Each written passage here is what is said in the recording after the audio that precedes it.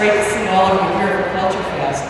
For more than a quarter of a century, our students have been putting on this Culture Fest. It is completely organized and designed and executed by them. And a great example of the kind of diversity that we have here on the grounds.